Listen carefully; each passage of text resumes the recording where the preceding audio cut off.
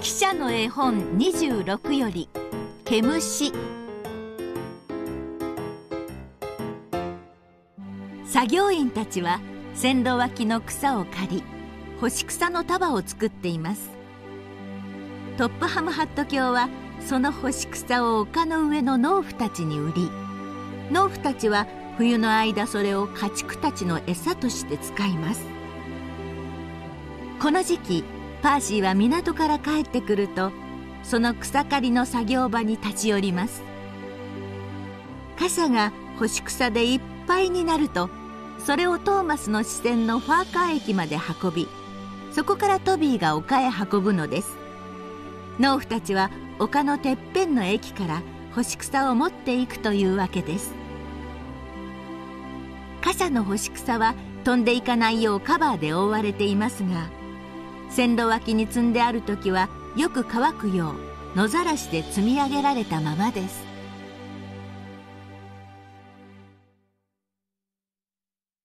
ヒュー。パーシーはお化けのような汽笛を鳴らしました。そんな怖がらないでよトーマス。僕だってば。パーシーは笑います。そんな気味の悪い音を聞いたら誰だって怖がるよ。それに君赤い線のある緑の芋虫みたいだ。のろのろ這い回るのもそっくり。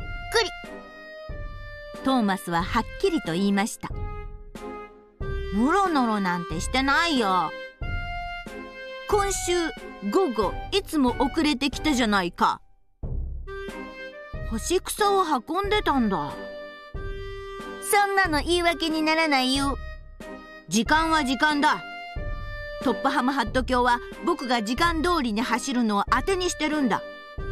のろのろと緑の芋虫みたいに干し草の中で這い回ってられちゃ困るんだよ。緑の芋虫だって？パーシーは腹が立ちました。な僕のことをかっこいいって言ってるのに。ほとんどみんなね。とにかく僕の丸いボディはゴツゴツしたトーマスより素敵さ。パーシーは貨車を港に運び午前中は貨車の入れ替えをしました。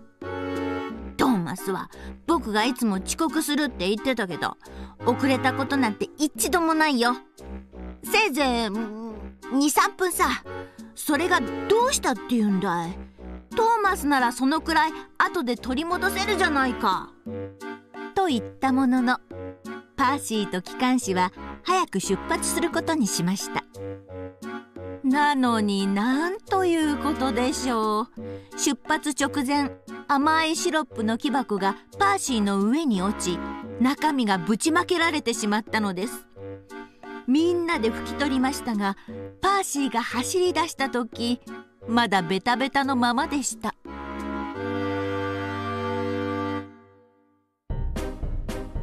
進むにつれ風が強くなりゴーゴーとうなりながら吹き始めました。おいあれを見ろよ。機関士が叫びました。積み上げた干し草を風が線路へと吹き飛ばし作業員たちがそれを片付けていますがやってもやってもまた飛んできます。線路は上り坂となり機関士は「パーシー突っ走れ!」と叫びます。パーシーは警告するような汽笛を鳴らし力を込めます。でも干し草のせいで線路が滑ってうまく走れません。パーシーは何度も車輪が空回りして止まり作業員に干し草を片付けてもらわなければなりませんでした。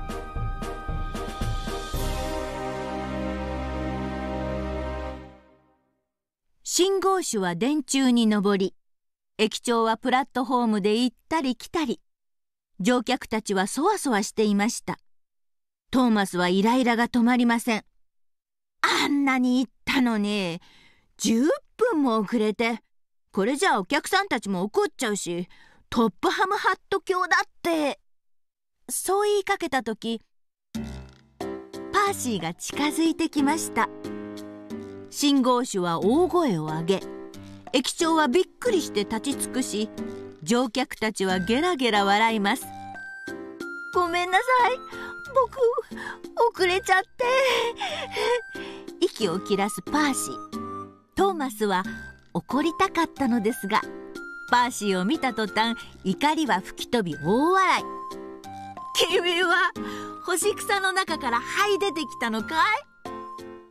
パーシーは何がおかしいのさ？と聞きましただってもじゃもじゃの毛虫みたいじゃないか出発が遅れたけど 君を見られてよかったよと言って走っていきました。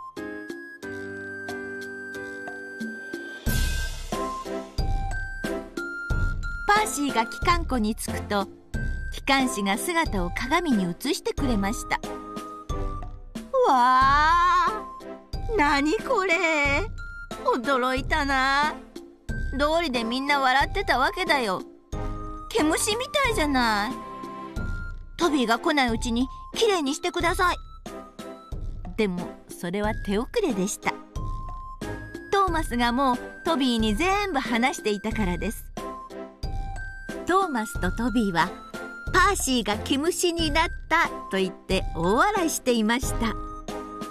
でもパーシーは2人だってバカなやつさと思ったのでした。